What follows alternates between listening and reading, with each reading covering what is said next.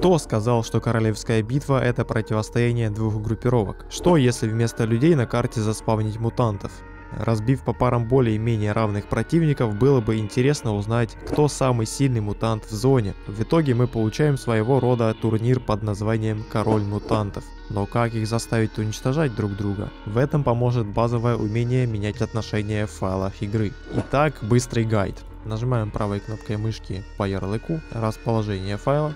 Далее идем в папку под названием Game Data. Configs, Creatures, файл под названием Game Relations. Двигаемся вниз, здесь отношения между группировками, и еще ниже находятся отношения с мутантами. Я думаю, все понятно, господа, спасибо за лайк, обязательно подписывайся на канал, и ссылка в описании на телегу, добро пожаловать, приятного просмотра.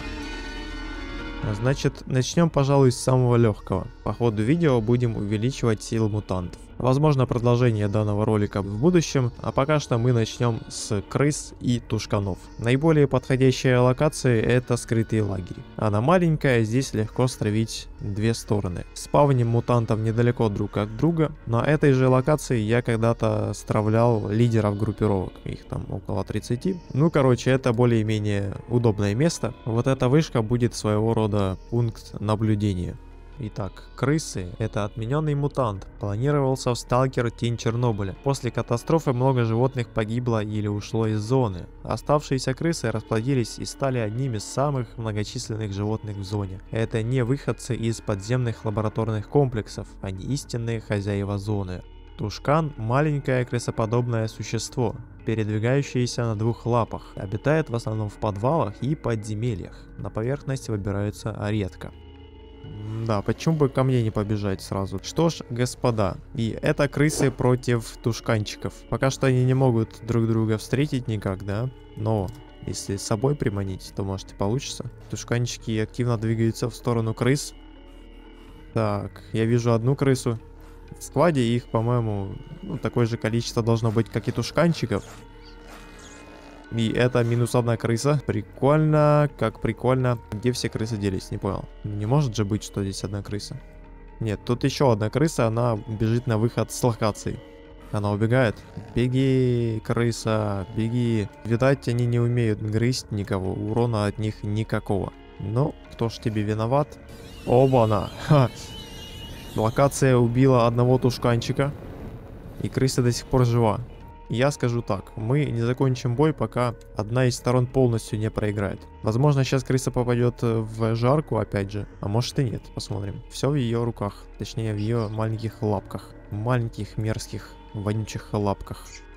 Блин, какая классная крыса. А то шканчикам будто бы пофиг.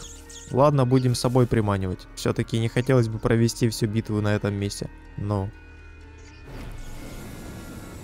Она выжила после жарки. Да ладно. Тушкан и тот не сдержался, а крыса вон какая мощная. No. Oh no. Тушканчики на подходе. И они швыряют эту крысу как могут. Она убегает опять. Бля, пацаны, ну можно закончить уже это издевательство? И впереди более интересные сходки. Они пытаются догнать. Окей. Самое главное, что Агр пошел. И вот они загнали крысу в угол. Здесь они и закончили с ней. Победители первого раунда это тушканы. Окей, крысы выбывают с соревнования. Тушканы крысы, бой закончен.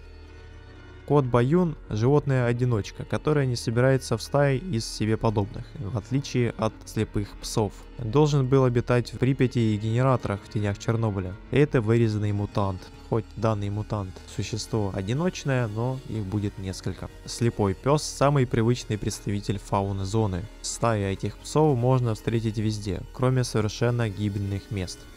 Окей, ребята, второй раунд. В этот раз стадо собак против стаи котов. В этот раз нам нельзя повторять ошибку с крысами и тушканчиками. Ничего себе выводок. По ту сторону 4 собаки, значит здесь должно быть 4 кота. Тут их 7, надо 3 убить. Сори. Сори-сори, ребята, но надо чуть подправить. Прибегают собаки. Количество четырех штук, по-моему, да? Четыре или не четыре? Битва, конечно же, максимально несправедливая, да? Может, кто-то баланс жуткий ожидает. А пока собака одна умерла. Я не знаю, кто сильнее в этом плане. Коты или собаки. Ну, только что две собаки убили кота, а там наоборот кот собаку. Так что вроде все как ровно. Окей. Собака уже на исходе, кот тоже. Это две раненые особи. Но кошечка побеждает. Еще одна раненая кошечка. О май гад. Это ни в коем случае не издевательство над животными. Все это всего лишь издевательство ради развлечений. Минус кошка, нифига себе. Я-то думал, все, пора хоронить собак, но... Но смотрите, еще одна кошка умирает, собака выживает. Мне как будто бы показалось, что собак меньше, чем котов. Но нет, я все-таки уравнял количество, их по 4 штуки должно было быть плюс-минус. Сомнительно? Ну ладно. Минус кот. По-моему, это последний кот остался. Или кошка, или кот. Хрен ее пойми. Три собаки пытаются догнать кота. Кот дал по Беги, там щель есть. Нет. Ну, конечно же, они не забегают за пределы локации. Ты о чем? Бедная кошечка. И вряд ли она может их поцарапать так знатно, да? Все. Второй раунд закончен. Он был, по-моему, немножечко меньше, короче, чем первый. Но это уже было интереснее. Собаки побеждают во втором раунде. Окей. Переходим к третьему раунду. Кабан – одно из многочисленных животных зоны, подвергшиеся воздействию аномальной энергии после второй катастрофы на ЧАЭС. Плоть, мутировавшая до неузнаваемости свиньи – одни из самых безобидных мутантов в зоне. Насколько они безобидны, сейчас мы узнаем. Там кабаны, там плоти. Справедливо. И в этот раз у нас кабаны и плоти. Логично, что и вроде первые и вторые обладают копытами, своего рода свиньи. Кто-то реально кабаны по природе, кто-то пошел из домашних свиней. Вроде пошел агр. Итак, смотрим. Первая плоть приближается к кабану, отбегает, и вот они в столкновении. Три плоти пытаются окружить кабана. Они убивают одного кабана, вы посмотрите на это количество. Кабанов было, оказывается, 5 в скваде, а плотей 4. Черт возьми, это дисбаланс. Я думаю, это неправильно. Но давайте все-таки посмотрим. Возможно, переиграем. Но если плоти победят, то я думаю, это будет э, супер неожиданно. И им реально респект. Тут они ранили плоть, но бегут дальше. Нифига себе. Кабан просто вышвыривает плоть за пределы локаций. Жесткие гонки. Еще три плоти живы. Один кабан помер и одна плоть. Соответственно, у плотей должно быть э, три особи и у кабанов тоже три. Но мы получаем 4 кабана и 3 плоти. Такое себе, такое себе. Давайте добавим еще одну особь на карту просто, чтобы не переигрывать. О, нет, да, она меня сделала, мне кажется. Так, еще одну плоть добавили. Вот она побежала в бой сразу же. Нет, развернулась. Давайте определимся с количеством особей все-таки. Сколько кого осталось? Я много чего пропустил. Три плоти.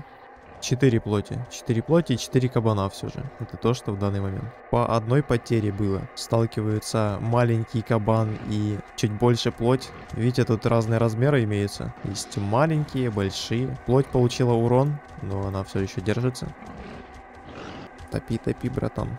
Пожалуй, надо бы отстоять честь домашних свиней. Нет. Конечно, прикалывают, как они откидываются жестко. Как будто бы НПС от удара пулей. Такая же фигня. Нифига себе, казалось бы, плоть загнана в угол и получит трендюлей, но она убивает своего противника. Месть, bitches. Итак, здесь одна плоть. У нее куча сородичей было, как и у кабанов, собственно. Я же вижу две плоти. А где кабаны? Видим кабан покрупнее, поменьше. Да, тут есть разные виды мутантов. То есть есть э, стронговые, есть э, низколевельные, скажем так. Да, ну и, собственно, размерчики. Размерчики разные. Кабан не попал в жарку. Чудом просто. Кто бы мог подумать, что плоти вроде как сильнее, чем кабаны. Это мы по итогу видим, да? Но, блин, а еще одна плоть умерла. Тут мертвая плоть. Ничего себе. Они же друг друга не будут бить. Нет? Да не, вроде не бьют. Так, как бы их стравить? Вон плоть убежала, да? Вроде кабан увидел, бежит убивать плоть. Через сеточку. А, нет, тут сетки нет. Мне кажется, ему тяжко бежится. То ли из-за того, что он такой большой, то ли хрен пойми почему. Совершенно непонятно, кто побеждает. Гоняют они друг друга по всей локации. Но больше все-таки хищник кабан. Плоти, они не такие агрессивные, мощные. Они более сыкливые, как видим, они бегают просто, выступают в роли жертвы. И было бы логично, если плоть проиграла. Все-таки две плоти, два кабана. Они сейчас вдвоем могут окружить кабана и захреначить. В угол его, в угол. А тут плоть вступила в бой как будто бы, но в итоге убегает опять. Нет, нет, она побежала в сторону кабана. Ну не надо, ну не надо. Честно, я болею за более слабых в данный момент. Плоть рулит. Но ее сейчас загонят в угол. Дура, беги! Нифига себе, просто вышвыривает. Ультанул кабанчик. Там еще одна плоть где-то была. Вон в углу. Ну что ж, господа, давайте поможем. Надо сагрить кабанов на плоть. Регена здесь вроде нет. Время проведения битвы не сыграет роли. Но вы видели, конечно. Вы видели, на что они способны. Плоти наши дорогие. Ой, а, по-моему, вот эта разновидность плоти более мощная. Возможно, это стронговая плоть, кстати. Сейчас увидим. Наносят друг другу урон, ребята. Плоть ранена, не. Ей писец. Одна тычка, и она мертва. Нифига себе. Минус мелкий кабан. И получается один на один. Правда, у меня опасения насчет плоти остаются все-таки. У нее подбита лапа. Приятного аппетита. Давайте все-таки сагрим. Еще раз. Кабану тоже плохо. Он не просто так медленно бегает. Сейчас решится судьба. Ультанет опять. В общем, это супер кабан, и он побеждает в данной битве. Третий раунд закончен. Предсказуемо кабаны побеждают. Не совсем, правда. Кабаны оказались немного сильнее, чем я думал. Нас ждет четвертый раунд. Контролер – один из самых опасных мутантов, встречающихся в зоне. Результат генетических экспериментов. Он обладает высокими телепатическими способностями. Пси-собака – редкий подвид псевдособаки, обладающий уникальными способностями, является самым редким видом мутантов всей серии Сталкер. В четвертом раунде встречаются пси-собаки против таких же психованных ублюдков по имени Контролеры. Контролеры справа, псевдо-собаки слева. Ой, как же больно. Как же она бьет в уши. Что за очко? А, в смысле я снизу. Так, видно, контролеру только что плохо стало. Опять меня снесло. Всего должно быть три псевдособаки и три контролера. Естественно, три псевдособаки спавнят очень много своих копий. Но, по-моему, они в сухую разбираются со своими противниками, взялись за главного героя. No, no, no, no. Все, ребята, полегче, все, я понял, все, все, все. Пси-кровосос появился в зоне из ниоткуда. Ученые не понимают, а может не хотят понимать, откуда появилось данное существо. Все преимущества кровососа наполовину деградировали, а аномальное пси-воздействие настолько нестабильное, что его практически нет. Зомби – это отмененный мутант. Представляет из себя человека, попавшего под воздействие пси-излучателей, выжигателя мозгов на радаре и установка пси-мозг на заводе Янтарь. Высшие функции мозга нарушены, действуют исключительно на остаточных и животных рефлексах. Итак, э, три пси-кровососа, которые уже летят ко мне на вышку. И слева у нас зомби. Не стоит путать с зомбированными, которые участвовали в королевской битве, э, непосредственно в турнире Король Зоны. Вообще должно было быть три сквада кровососов и три сквада зомби по одной особи, а зомби толпами спавнятся. Но в принципе я согласен на такое. Я думаю, количеством зомби способны задавить. Я думаю, тут э, парочка зомби точно стоит одного кровососа, может даже три зомби. Так, я пока вижу только одного кровососа. Где же все остальные? Так, будем агрить. А, они возле меня, наверное. Ну давай, обманочка. Шах и мат. Вы думали, я вас не переиграю? Я вас переиграю. Началась бойня, ребята. Я не знаю, способны ли вообще зомби кого-то уничтожить. А, Все-таки тут э, в одном складе кровососов побольше, чем один. Но зомби-то особо не хотят дохнуть, как мы видим. Чё так? Вообще ни одного трупа пока нет. Может потому, что у зомби нет крови? Ха-ха. А, я об этом не подумал. Вряд ли об этом вообще кто-то думал. Что-то они бьют, добьют, а эффекта вообще ноль. Ни первые, ни вторые. Ну ладно, мы подождем. Я никуда не спешу сегодня. Блять, стрим скоро. Я почти никуда не спешу сегодня, ладно. Раз, два, три, четыре. Все-таки сосочей здесь достаточно много. Вначале, наверное, они куда-то убежали, я потому их не увидел. Ну, Все еще нет никого мертвого. Ничего объявить, что ли? Что ж, я уже достаточно долго смотрю на это все издевательство друг над другом. Это, скорее всего, ничья. Это, черт возьми, первая ничья вообще за все время существования канала. Хотя нет, погодьте, это первый мертвый зомби. Нет, продолжаем смотреть. Просто придется очень долго это делать. Ну ладно, я готов. Окей, они что-то все порасходились куда-то. Ну вы даете, ребята. Что, если ускорить время? Да, я вижу еще одного мертвого зомби. Еще одного. Смотрите, как все быстро происходит. Да, намного проще. Думаю, 2х достаточно будет. Но и первый мертвый кровосос тоже имеется. Так, все еще не ясно. Что здесь, мать твою, происходит? Что здесь? Так, вот, смотри, еще один зомби. Особей четверо померли. У кровососов один. Кровь везде. Какая красота. Мы же это все так обожаем. Еще один зомби мертвый. Да, банально, кровососы быстрее, они успевают убежать. Задел, да убежал. Еще один зомби помер. И, по-моему, тут в одни ворота. Окей. Окей. И это справедливо. Совершенно справедливо то, что победили кровососы. Э, да это еще и пси-кровосос. Правда, вряд ли они имеют какое-то влияние на, на зомби, которые вообще обезбашенные мужики. Ну а мы двигаемся дальше. Снорк – сильный и опасный мутант, встречающийся во всех играх серии Сталкер. Это существо, судя по всему, некогда было человеком, хотя сложно представить, какие условия могут довести человека до подобного состояния. Излом мутант, произошедший от человека. Излом отмененный мутант, созданный в результате экспериментов над людьми. Выглядит как бродяга или горбатый старичок в разодранной одежде. Скрывает свою огромную мутировавшую левую руку под плащом. По левую сторону снорки, справа излома, бой начинается. Справедливо, чтобы их было одинаковое количество. Но что если кто-то из них просто объективно сильнее, да? Итак, три излома, которые бегут в сторону снорков. Или не бегут, ладно. Снорки, три штуки тоже имеется. Они только что были по левую сторону, да, возле лесочка. Да тут везде лес, по сути, ладно, не важно. Окей, может все-таки пойдем в центр карты, ребята. Как всегда, почему бы с собой не сагрить Главный герой приманка, его не жалко. Логично, что изломы против снорков. По сути, это как будто бы человекоподобные мутанты. В прошлом люди однозначно. Трутся они друг возле друга вроде бы. Но... Но где Агр? О, наконец-то. Я уже подумал, что они просто не воюют друг с другом.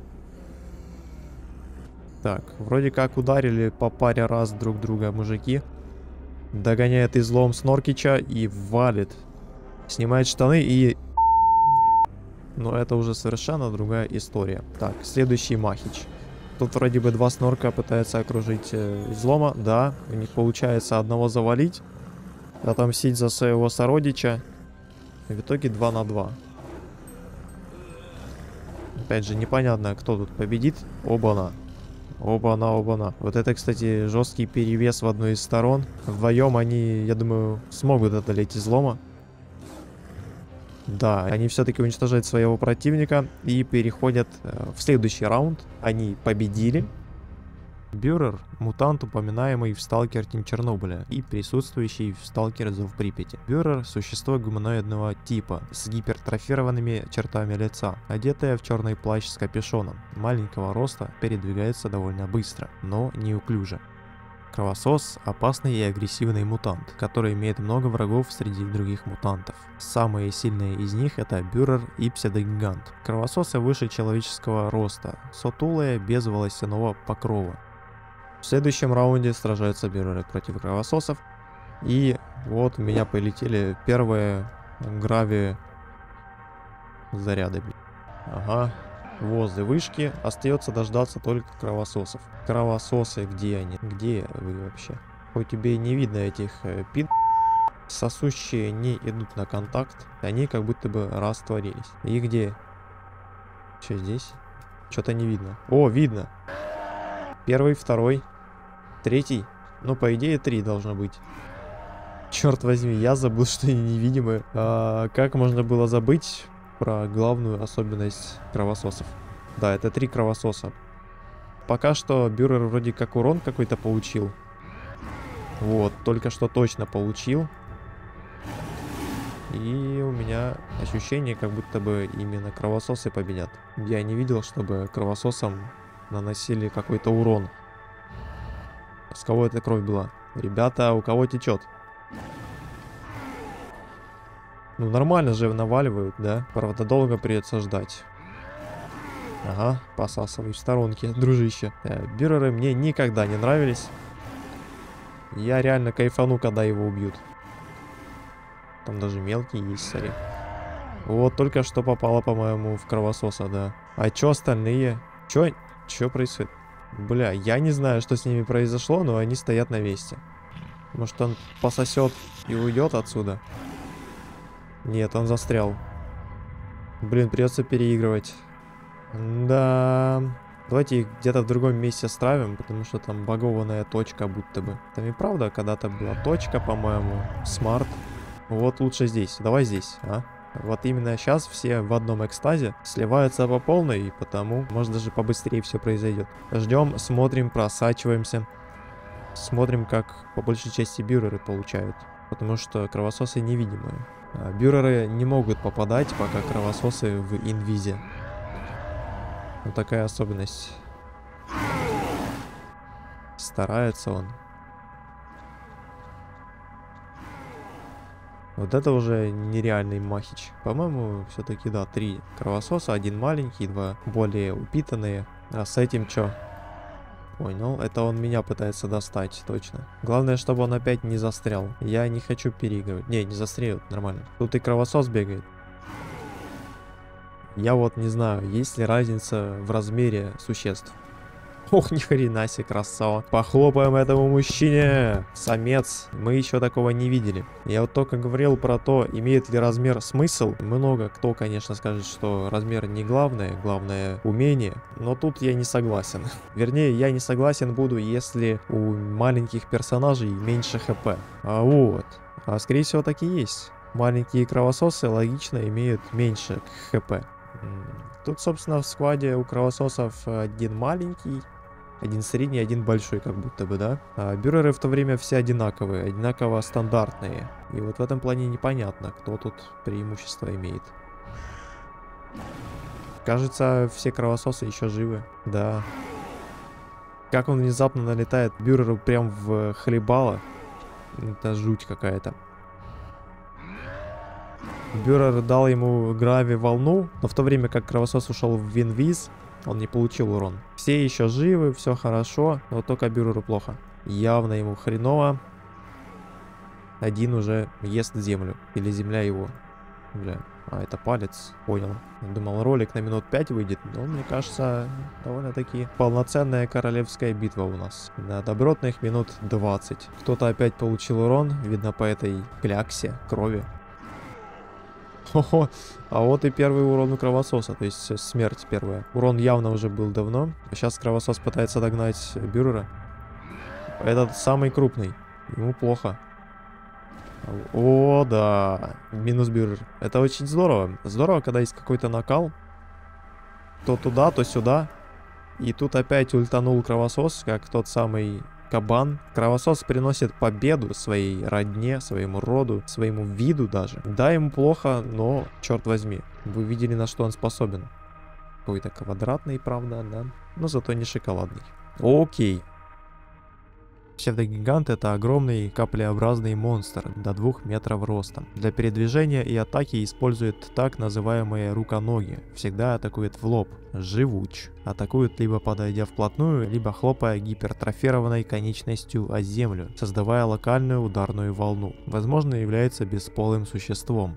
Химера – это эксперимент многочисленных экспериментов. Имеет вид четвероногого существа с двумя головами, одна из которых недоразвита самый главный раунд, в котором встретятся самые сильные мутанты. Чё только, бля, нет. О, да, точно, три. Три химеры против троих псевдогигантов. Ребята, выше некуда. Они пока боятся сближаться, но все впереди. Маленькая химера, большая химера и средняя химера, по-моему, так. Ляпает псевдогигант Два псевдоча будто бы присосались э, к Химере. И Химера откисает. Да, псевдогигант не ультует как кабан. Куда ему до кабана?